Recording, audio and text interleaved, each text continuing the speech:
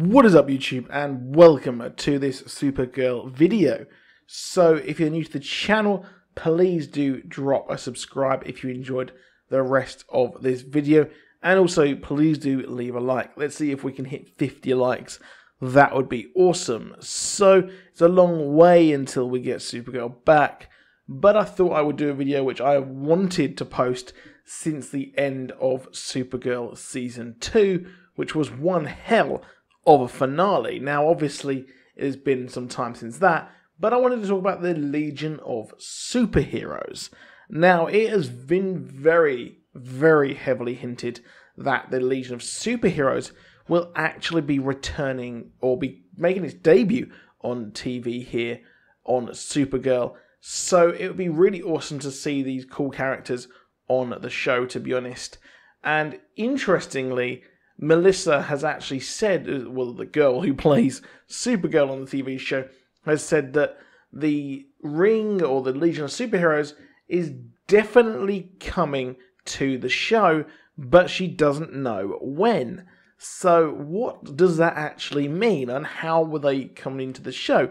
So, if you remember, when Barry went through the or went to multiple dimensions in The Flash, well, he was actually seeing the ring for the Legion of Superheroes, which is what we saw in Supergirl, and it is also being heavily, heavily focused on. I mean, there was one episode near towards the end of season two of Supergirl where it literally zoomed in on the Legion of Superheroes ring and then zoomed onto Mon-El. I mean, could we honestly not have been more obvious with that?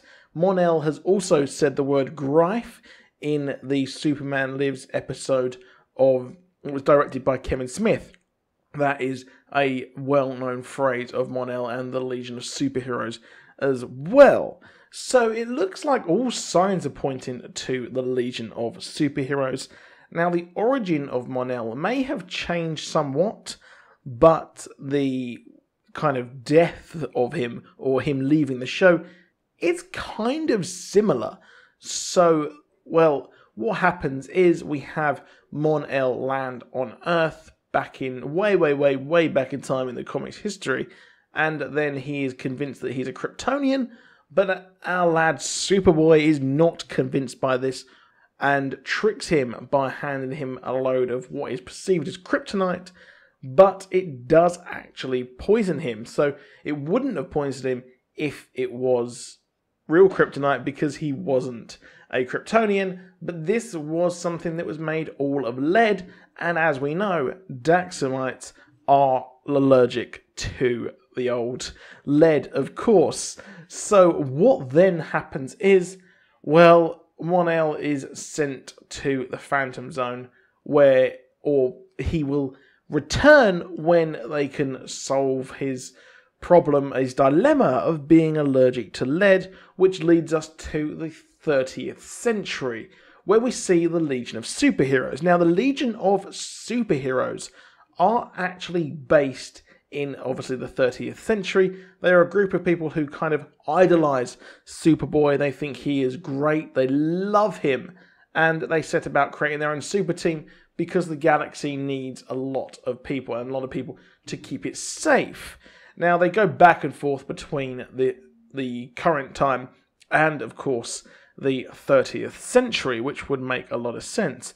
So what actually happened to Mon-El? He left and went into this weird kind of portal, which I I really do think it is obvious that this is the Phantom Zone because that is kind of similar, very similar as to what Kara went through and what we've seen in the show on Supergirl as well. So I think he is in the Phantom Zone, and then I think he probably might be put forward to the future and is there in the 30th century and will then join the Legion of Superheroes who are set up in the future. Hopefully, we do see Saturn Girl. We know that Reign is coming to Supergirl as well, so I'm not too sure how big of a thing or how big this season will actually focus on the Legion of Superheroes because Mon-El is completely gone, isn't he? He's gone from the Earth, and obviously Kara is very, very upset about that.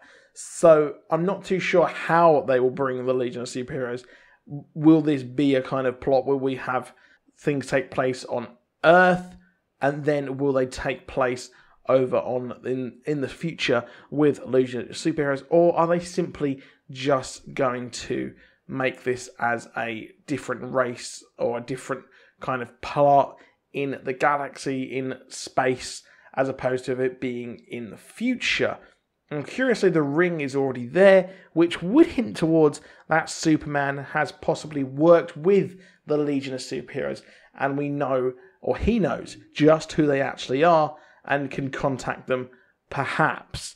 So maybe we could actually see Superman kind of save Mon-El and get them to find him or something like that. I know it's a long shot, but I think that would be really, really cool. I think having kind of cuts to him in the future or where he actually is working with the Legion of Superheroes would be really, really cool. So let me know what you think in the comments. Do you think the Legion of Superheroes will be good? Do you think them being added to the show will actually be a great addition? Because there are so, so many different people we can actually have.